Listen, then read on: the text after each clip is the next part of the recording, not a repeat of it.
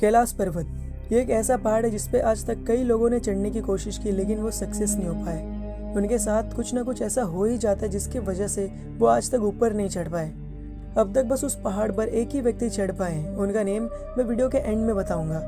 मैं आपके इन्फॉर्मेशन के लिए बता दूँ कि दुनिया का सबसे ऊँचा माउंटेन यानी कि माउंट एवरेस्ट जो कि 8,848 मीटर ऊँचा है और इस पर्वत पर लगभग 7,000 लोगों ने चढ़ाई की है। लेकिन कैलाश पर्वत जिस पे आज तक कोई भी नहीं चढ़ पाया है, वो माउंट एवरेस्ट से लगभग 2000 मीटर छोटा है, यानी कि 6648 मीटर है।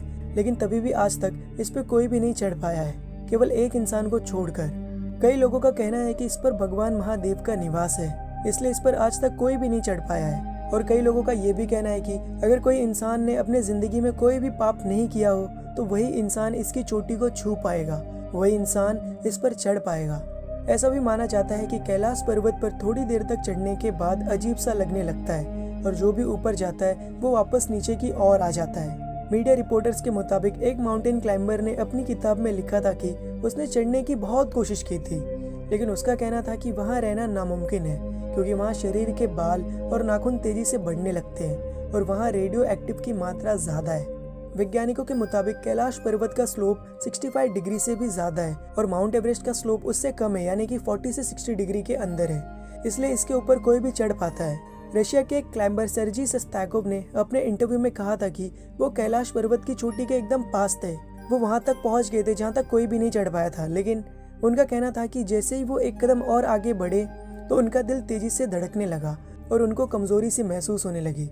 तभी उनके मन में ख्याल आया कि मुझे अब वापस जाना चाहिए, और वो यही सोचकर वापस नीचे की ओर उतरने लगे, और धीरे धीरे उनके दिल की धड़कन कम हुई, और उन्हें अच्छा महसूस होने लगा। लास्ट टाइम कैलाश पर्वत पर चढ़ने की कोशिश 2001 में आखिरी बार की गई थी, और अब मैं आपको बताता हूँ कि वो इंसान कौन थे जो वहाँ तक चढ़ पाए थे। ये बात 1928 की है, और उनका नेम है बौद्ध भिक्षु मिलारेपा।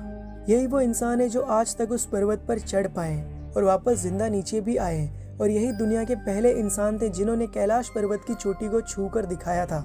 अगर आपको इनके बारे में और जानकारी जाननी है तो हमें बताना, हम उस पर एक वीडियो आपके लिए ज़रूर लाएँगे। वेल कैलाश पर्वत एक मिस्ट्री है और एक न एक दिन ये सॉल्व ज़रूर होगी।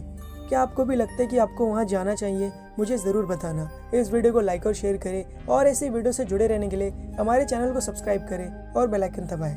मिलते हैं अगले वीडियो में।